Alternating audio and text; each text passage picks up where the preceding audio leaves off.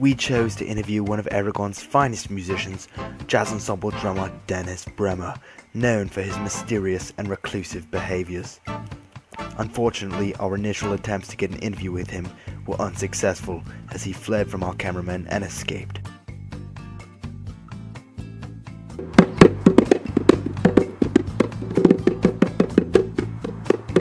However, after speaking with his agent, we were able to purchase 5 minutes of his time for a meager fee of 30,000 euros and were able to provide a first-hand look at Bremer's life.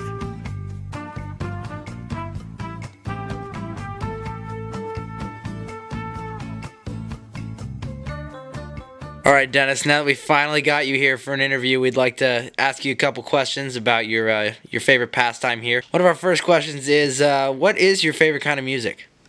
Uh, my favorite kind of music is jazz music. Uh, you have anything uh, from your uh, your collection that you'd like to show us? Yeah. This is a song that I you know I play with all the time. It's it's a lot of fun.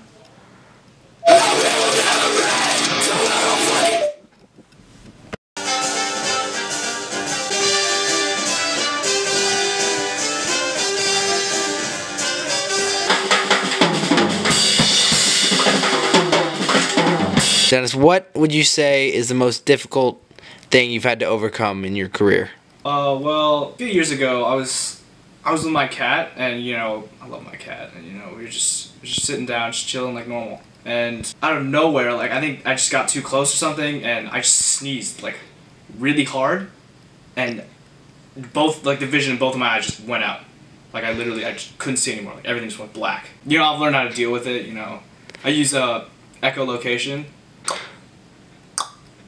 and you know the, the the sound waves like rebound off of uh, objects and it kind of gives me a sense of like what it is. Yep that's a mango.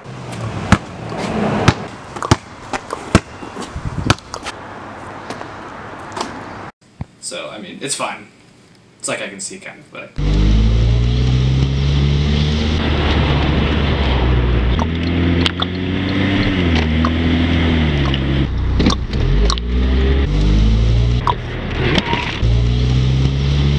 So, Dennis, do you have any uh, past experiences uh, in the art of drumming that you'd like to share with us?